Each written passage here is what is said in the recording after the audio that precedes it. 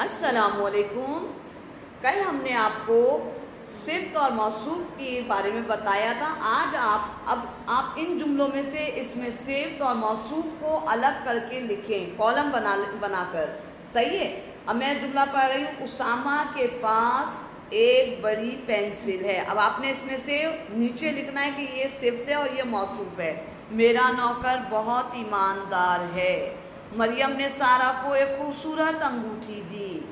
Number चार पे आया ताया जान, बहुत मोहब्बत करने वाले इंसान हैं। नंबर पाँच है, ये चटाई बहुत खुरदरी है।